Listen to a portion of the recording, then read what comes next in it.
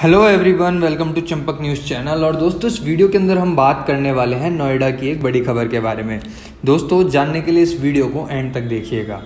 हाल ही के अंदर खबर आई है कि नोएडा के जलवायु विहार के अंदर 20 सितंबर को एक घटना हुई, जिसके अंदर एक काम चल रहा था और हाउसिंग सोसाइटी थी, उसकी दीवार गिर गई। और ये घटना हुई दोस्तों सुबह के टाइम और इस घटना के अंदर बारह जने दीवार के नीचे आ गए, जिनमें से चार कंस्ट्रक्शन वर्करों की मौत हो गई और आठ जने घायल हो गए। जो लोग जिनकी मौत हुई, उनके नाम बताए गए हैं, पुष्पेंद्र सिंह, पन्ना लाल, अमित और धर्मवीर। और दोस्तों, सामने आया कि वहाँ के जो लोग थे, उन्होंने पहले ही सब कॉन्ट्रैक्टर को वार्न किया था कि दीवार कमज़ोर है और यहाँ पे काम नहीं हो पाएगा।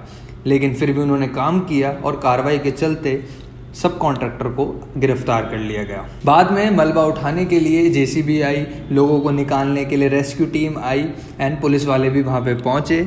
सो so, दोस्तों आपका क्या कहना है इस पूरी घटना के ऊपर? मुझे कमेंट सेक्शन में बताएँ।